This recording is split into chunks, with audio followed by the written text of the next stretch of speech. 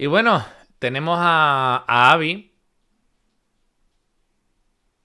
Esto es muy fuerte lo que vamos a ver aquí. No lo he visto, ¿eh? Lo voy a ver aquí con ustedes, ¿eh? No, no lo he visto, ¿eh? Lo voy a ver aquí con ustedes. Resulta ser que Abby, Claro que alguien que vea tu stream. que además luego vamos a ver también otra cosa de Claro que ella. alguien y que vea tu stream. Vale, sí, esto, esto lo vamos después de ella, ¿vale? Porque ha afirmado tener problemas económicos. Se ha sumado hoy a Elisa Waves, Cristinini y a varios más para hablar. Atentos, no os lo perdáis. De verdad, o sea, no perdáis lo que os voy a decir. Avi ha expuesto la falsedad, la falsedad de los streamers de Twitch y de los grupitos. ¿Cómo os quedáis? ¿Cómo os quedáis? Boquita de oro, boquita de oro exponiendo la falsedad de los guay. No me lo pierdo. De verdad, no lo he visto, ¿eh? Lo voy a ver aquí con ustedes. Ya, te- toda mi vida personal la estoy volviendo a, a poner en su sitio. Porque yo empecé el año con mucha energía. Pasó muchísima mierda y lógica. O sea, no tuvo sentido. Pero ya como que digo, vale, ya está. Hemos padecido, nos hemos puesto triste, toca seguir. Y me ha vuelto esa energía. Y ya mi vida personal ya la estoy volviendo a modelar. Ajá. Eh, Vale. Terapia, gym, Terapia. voy a empezar con la dieta, ahora voy a gestionar los gastos Uf, y poco la más. dieta. Poqueta poquet. Está bien. La dieta me tiene amargado. La dieta me tiene amargado, familia. Me tiene amargado la dieta. Quiero comerme un king ahorro. No te creo que Abby se queje de la falsedad, es como si una feminista apoyara la velada, algo inimaginable. Completamente. Pero lo que acabas de decir es una locura. Yo no creo que haya ninguna feminista radical de estas, ni feministas tuiteras que apoyen la velada. O sea, yo no creo que ninguna feminista acepte la invitación a la velada solo por hacerse fotos en esa alfombra roja, ¿eh? Y subir fotos a Instagram. No. Me niego. Yo es que creo que Abby todavía no se ha enterado de lo de Coscu. Por eso va a ir a la velada. Porque ella es muy buena feminista. Ya lo dijo en el vídeo de respuesta a Dallas. Ella es muy buena feminista. Ella es muy buena feminista. Y ella va a.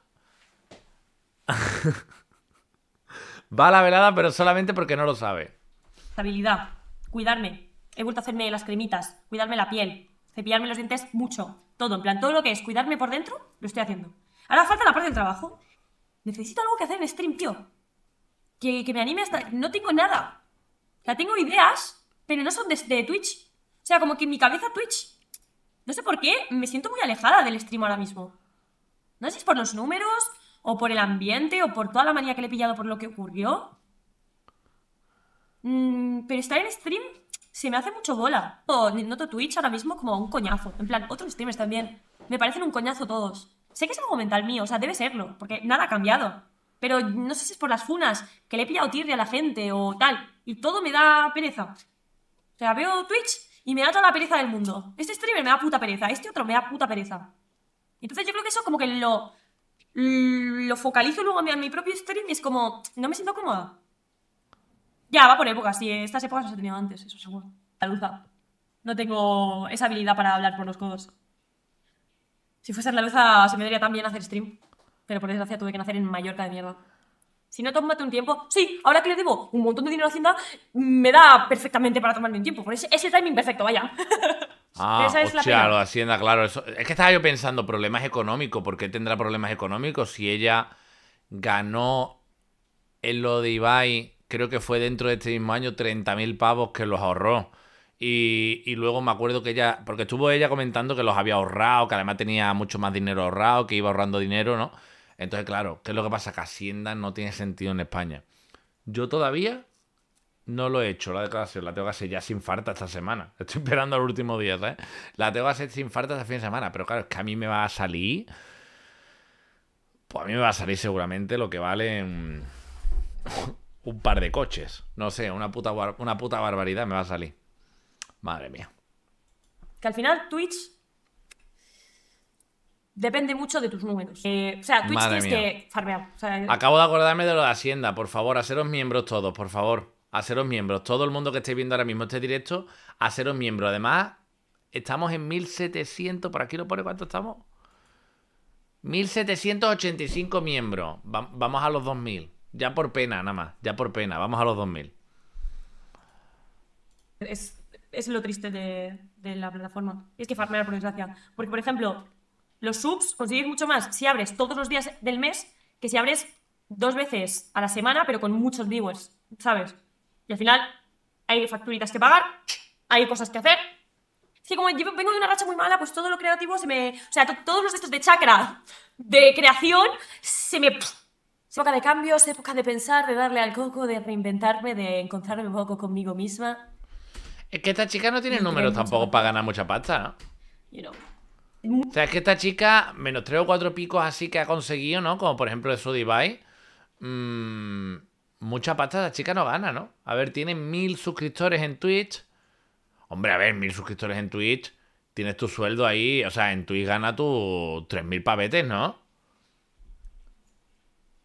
3.000 pavetes, 3.000 pavetes gana. Más luego las promos que haga o lo que sea, si es que hace algo.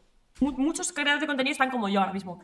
No solo de que hayan bajado de números o tal, sino también sé de muchos que están igual de quemados. Porque, quieras o no, lo que ha pasado en redes estos meses ha sido muy fuerte y a mucha gente le ha dejado asqueadísimo. O sea, y también a, a vosotros, a gente que, que lea, que esté en Twitter, que esté en Twitch. O sea, y también hay mucha peña que ya es que se ha pirado. O sea, está tan quemada que se ha pirado. Porque, o sea, lo que ha pasado estos meses es infumable, pero ¿qué ha pasado? Ah, todo lo de las funas, eh, que si tal, que si cual, que si P, que si A, que si C. Ya, y continúa y no baja, pero bueno, es que no sé, solo quiero que pare, tío. Solo quiero volver a ese momento en el que todo el mundo era colega y hacía coñas.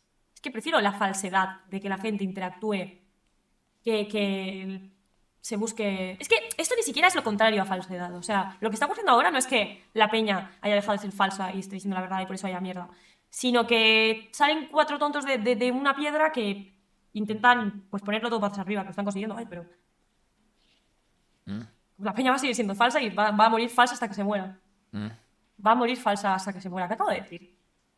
Con la falsedad se lleva más lejos las cosas como son. Sí, pero no creo que sea algo reprochable. Porque esto es como en tu puto trabajo. Tú a tu jefe no le vas a insultar o le vas a decir que te cae como el puto culo. Vas a ser un falso. Pero porque así funciona el trabajo. Es lo que hay. Tú lo que te das de comer lo vas a intentar gestionar la mayoría de la manera en la que más pasta te dé. Pero es que es lógica pura. Esto lo, lo hace la gente de la fama, pero lo hace la gente también de un trabajo mundano. En plan, lo hacemos todos. A su mayor o menor medida. Y de verdad, la gente saca y decís, bueno, pero esta persona lo ha hecho sin ser falso o sin... Esa persona también, 100%, también habrá interactuado con alguien que le da tirria o habrá dicho algo que realmente no piensa o se habrá comido una opinión para no tal. Todos, todos, en mayor o menor... Ese hate afectó a nivel emocional, anímico, no, no fue por el hate. O sea, a mí que me digan A, B, Es que no entiendo la, la- crítica que está haciendo, como no está siendo clara y lo está haciendo como muy generalizado y como muy ambiguamente, no estoy entendiendo la queja. ¿Ustedes lo estáis pillando? O sea, es que ni siquiera es una crítica tan clara como, por ejemplo, lo que dijo Cristinini o lo que dijo Elisa, ¿no? Eh, escúchame, pin, pin, pin. Eh, se ponen buena cara, juegan a jueguitos y luego por detrás se están poniendo verde. Lo que sea, ¿vale? No, no, es que está como, no, la peña es falsa. La peña es falsa, la peña es falsa, pero todos hemos sido falsos alguna vez. la- Me claro que todos hemos sido falsos alguna vez en la vida. Si es que en los trabajos y en los negocios tienes que ser falso.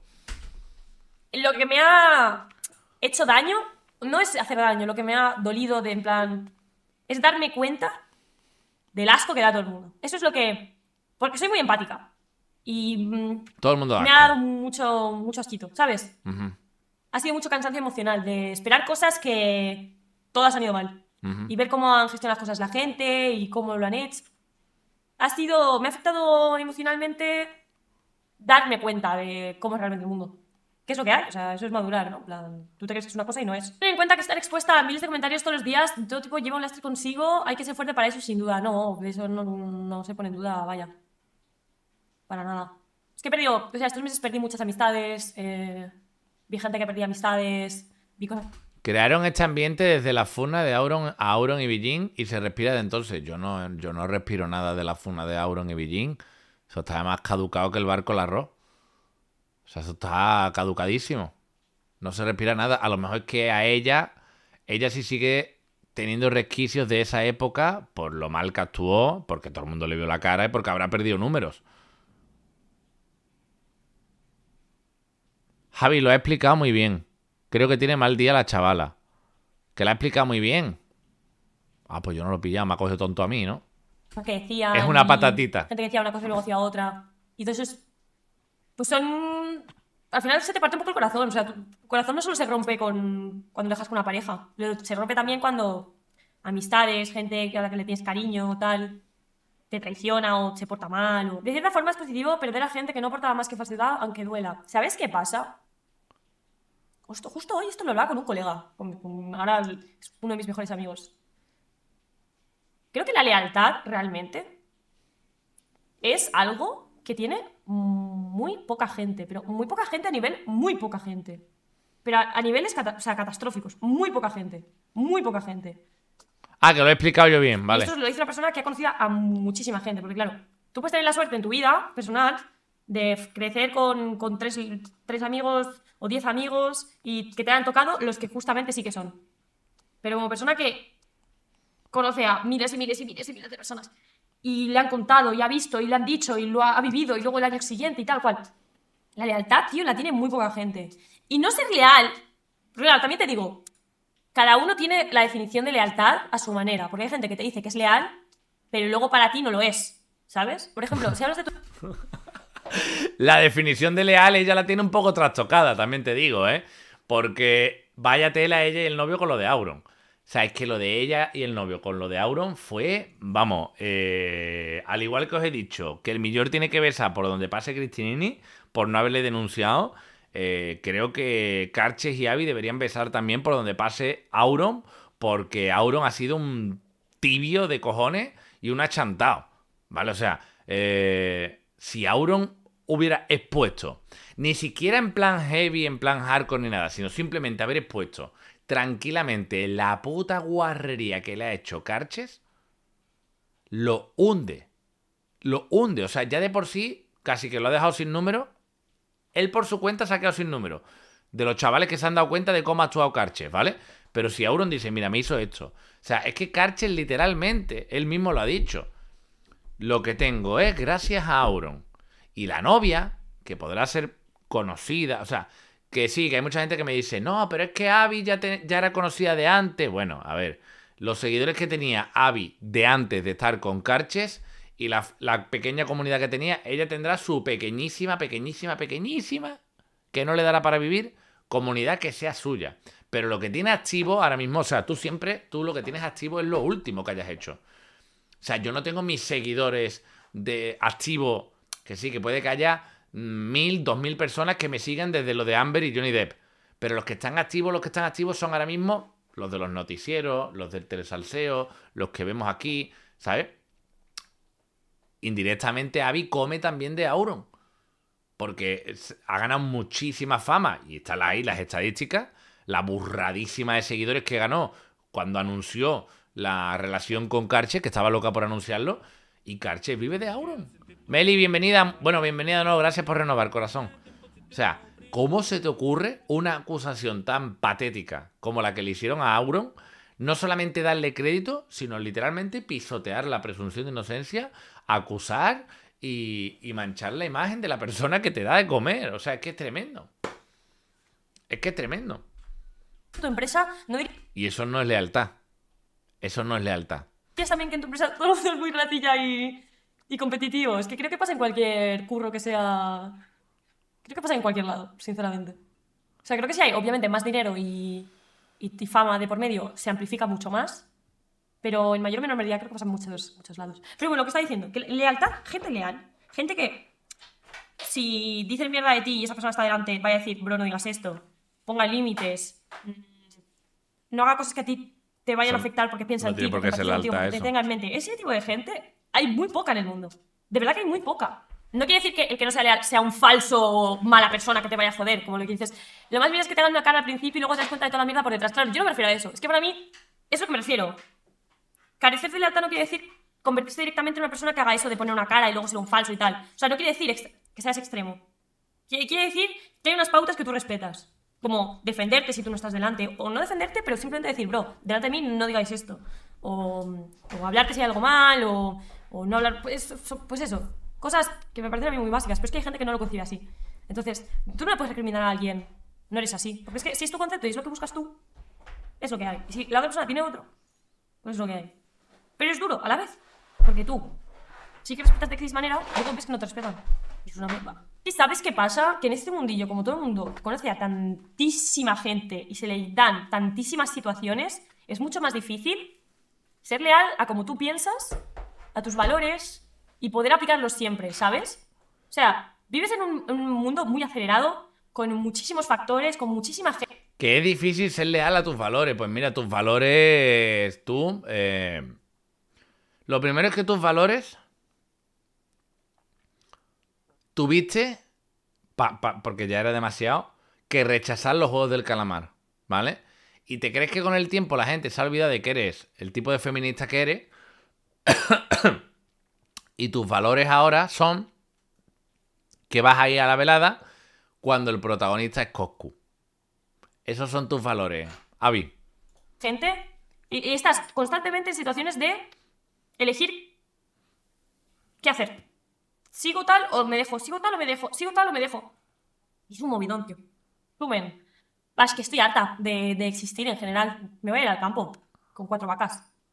Mientras seas real a ti misma, para mí es prioridad número uno en mi vida. O sea, intento... Sé que muchas veces le he cagado. Y no me cuesta nada. O sea, hay veces que he dicho, ¿por qué he hecho esto? ¿Por qué he dicho esto? Tal. Pero algo que siempre voy a intentar, por muchas hostias que me haga darme, es eh, ser fiel a lo que pienso. El resumen es que estoy cansada de la gente, de la vida. Y, sobre todo y por encima de todo, no, en verdad, de nada. Si te hace daño, te rayas con algo porque, que ha hecho alguien, tienes que pensar, es lo que hay, hay que seguir adelante, focus on yourself. Vamos todos al gym, vamos, vamos. En fin. Personajillo. Personajillo.